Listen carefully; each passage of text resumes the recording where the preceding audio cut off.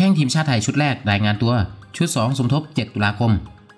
ขุนพลทีมชาติไทยชุดใหญ่ตบเท้าเข้ารายงานตัวล็อตแรก ส่วนที่เหลือสมทบในวันที่ 7 ตุลาคม เพื่อเตรียมความพร้อมก่อน 2 เกมสำคัญ ทั้งเกมอุ่นเครื่องกับคองโกในวันที่ 10 ตุลาคม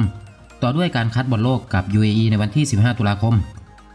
ความเคลื่อนไหวของทีมชาติไทยชุดใหญ่ ซึ่งเป็นจ่าฝูงฟุตบอลโลก 2022 รอบคัดเลือกโซนเอเชียรอบที่ 2 กลุ่มจีด้วยการมี 4 คะแนน จากผลเสมอทีมชาติเวียดนามไป0ต่อ0และชนะอินโดนีเซียไป3ต่อ0 และมีโปรแกรมเปิดสนามธรรมศาสตร์รังสิตรับการมาเยือนของสหรัฐอาหรับเอมิเรตส์ในวันที่ 15 ตุลาคมนี้เวลา 19 นาฬิกา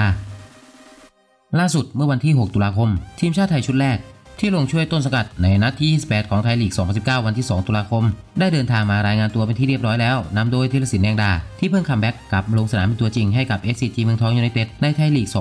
2019หากว่าลงเล่นในเกมอุ่นเครื่องกับคองโก จะทำให้เป็นการกลับคืนสนามในสีเสื้อทีมชาติไทยในรอบ4เดือน หลังจากลงเล่นเกมสุดท้ายในนัดชิงที่ 3 คิงคัพครั้งที่ 47 แพ้ทีมชาติอินเดียไป0ประตูต่อหนึ่งเมื่อวันที่ 9 มิถุนายนที่ผ่านมาสำหรับนักเตะชุดแรกที่เข้ามารายงานตัวประกอบไปด้วยศิวรักษ์เทศสูงเนินสัสลักษ์ไหประโคนพันษาเหมิบูลกรกฎวิริยะอุดมศิรินฤบดินทร์วีรวัฒน์เทนโดม สุภโชคสารชาติ ศุภชัยใจเด็ด สุภณัฏฐ์ เหมือนตา อดิศรพรมรักธีรศิลป์แดงดา มานูเอลทอมเบียร์ นิติพงษ์เสลานนท์ยูเซฟ เอเลียสดอเลาะ และธนบูรณ์เกษารัตน์ขณะที่นักเตะชุดที่ 2 ที่จะมารายงานตัว เป็นกลุ่มที่ลงเล่นไทยลีก 2019 นัดที่ 28 เมื่อวันที่ 3 ตุลาคมที่ผ่านมา ซึ่งมาจากสิงห์เชียงรายทั้งหมด 3 คน ประกอบไปด้วย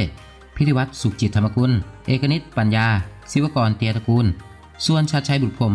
นายด่านจากบีจีปทุมยูไนเต็ดจะมาสมทบในวันที่ 7 ตุลาคมนี้